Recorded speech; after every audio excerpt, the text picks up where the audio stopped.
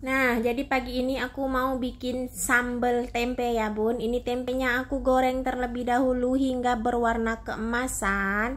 Kemudian di sini lanjut aku mau goreng kacang tanah secukupnya aja hingga keemasan juga ya, Bun. Dan lanjut di sini aku mau tumis bumbu halusnya. Ini bumbu halusnya stok aku di kulkas ya, Bun.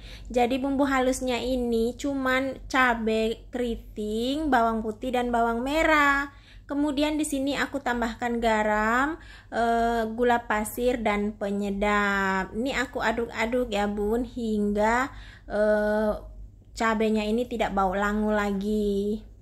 Kemudian ini aku dinginkan. Jika sudah dingin suhu ruang, baru aku masukkan uh, tempe dan kacang tanah yang sudah digoreng tadi. Selesai. Mari makan, Bunda.